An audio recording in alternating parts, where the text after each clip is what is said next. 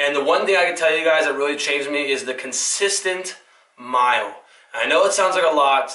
Make it a half mile if it sounds like a lot. But you can walk it. I promise, if you walk one mile to a half mile a day and you don't do this already and don't exercise and you just add the mile walk a day, you can bring your cup of coffee, you can bring your book, you can bring your podcast and your headphones, plug in. If you do a mile a day, I can almost guarantee you that you're going to see some weight loss, but I can definitely guarantee you you're to see a health benefit. Mental health, for sure. Weight loss, most likely. And feeling good, feeling healthy, 100%.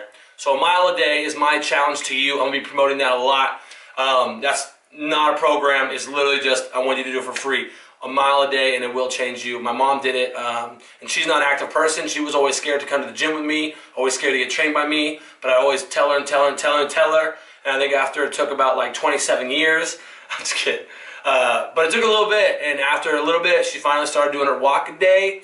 Um, I think she just got a little over you know, overwhelmed and enough with her her weight gain at the time, but she started doing a mile walk a day, tracked all of her calories that she ate, and she was able to lose 20 pounds in uh, you know a span of three months. That's a lot for someone who's just walking and then tracking the food. So those two things will really change your life. And uh, I really think that it'll make you feel better going into 2022 and into 2023. It's already April in 2022. It's crazy. Time's flying by.